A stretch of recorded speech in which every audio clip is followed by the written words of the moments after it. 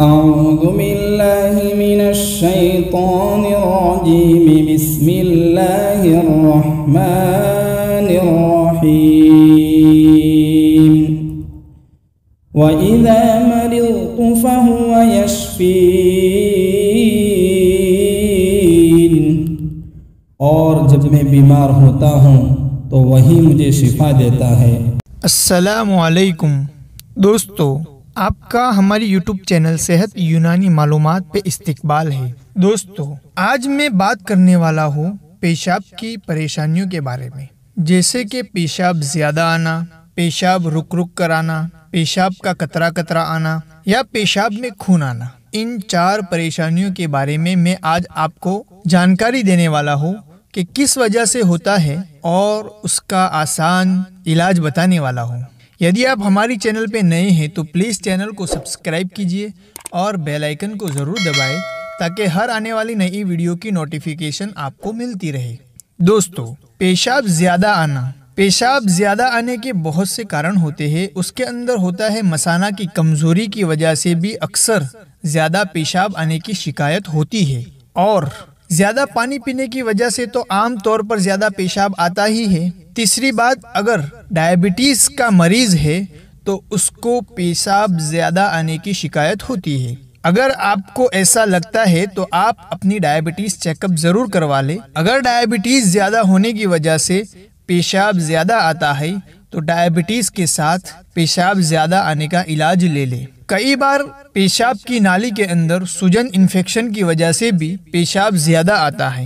तो उसके लिए आपको लेना है यूनानी कंपनी की बलूती माजून। बलूती माजून हमदर्द कंपनी बनाती है और कोई कंपनी का नहीं आता। उसके साथ में आपको लेना है चंद्र प्रभावटी टेबलेट। ये दो चीज़ें पेशाब ज़्यादा आने की शिकायत को दूर करती है। अब ये दोनों दवाई को लेने का तरीका बलूती के अंदर से पाँच पाँच ग्राम और चंद्र प्रभावटी एक एक टेबलेट, सुबह नहार मुँह और रात को सोते वक्त दो टाइम ले ले। इनशाला एक हफ़्ते के खुराक के अंदर आपको बहुत अच्छा फ़ायदा मिलेगा।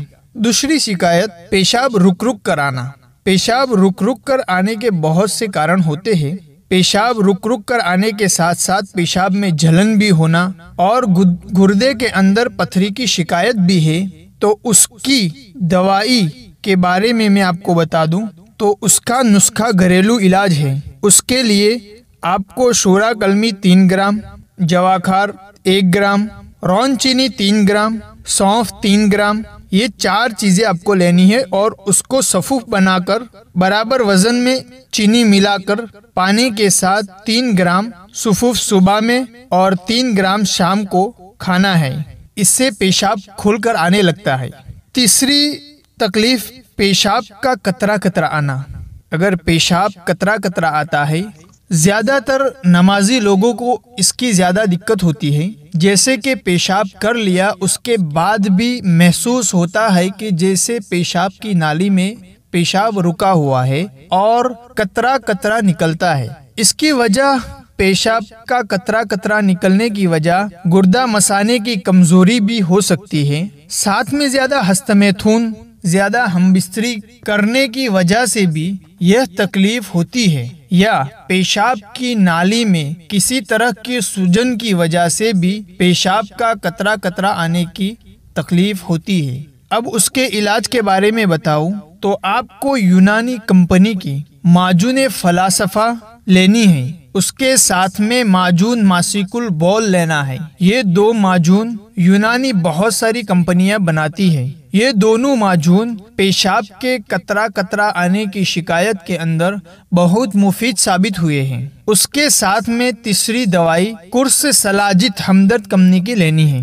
माजून मासिकुल बॉल और माजून फलासफा में से पाँच पाँच ग्राम सुबह बुखे पेट और रात को सोते वक्त उसके साथ में कुर्से सलाजित एक एक टेबलेट ले लें। ये तीन दवाई से आपके पेशाब का कतरा कतरा आने की शिकायत के अंदर फ़ायदा मिल जाएगा। चौथी तकलीफ़, पेशाब में खून आना। अब पेशाब के अंदर खून आने की वजह, या तो पेशाब के अंदर कोई इन्फेक्शन हो, या गुर्दा मसानों की वजह से पेशाब में खून आता है तो उसका इलाज भी यूनानी के अंदर है।